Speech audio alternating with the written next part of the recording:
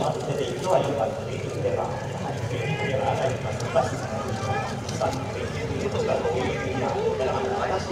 番、番3番手、ただその3番手の外に合わせました。から銀がなきゃ、流れ、こから3番、に、スーパーフェザー、後方から3番手、その後ろにバイオレトブロー、7秒、にイパーの、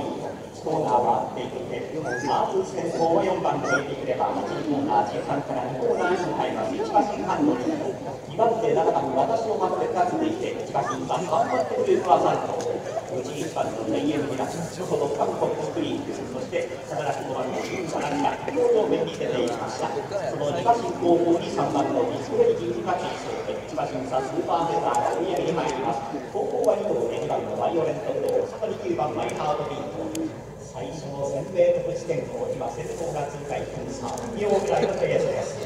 いうふうに流れるのがこれから3コーナーのカーブに入ります4番ケンプレバーセルフが引きつけて1馬身のリード2番手7番の私を待って3番手1番のテキエルミラン監督が上がって残り800切りました再び差を詰めて6番とのスクリーン外3番手で並んでいきましたあとは2番バイオレントブロー5番のミンナラキナ差はありませんからスーパースターがじわじわ上がっていきます。残り600切りましたあとはバイハートビート最高峰逆立ち反発のトレーニングピッチが上がってバックが4コーナーがある。ペースを上げて景気レバーをしかしカップやや息を迎えるのが200切りました2番手上がって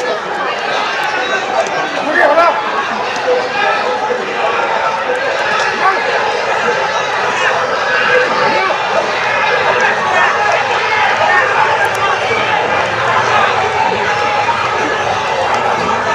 誰お前誰お前。